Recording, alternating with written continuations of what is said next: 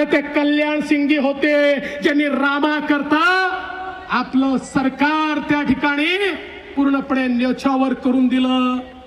आणि तुम्ही रामाला ज्यांनी विरोध केला ज्यांनी राम खरंच पैदा झाले होते का असा नालायकासारखा प्रश्न विचारला. त्याच्या मांडीला मांडी लावून तुम्ही बसले आणि या ठिकाणी राम मंदिराच्या गोष्टी आम्हाला सांगताय.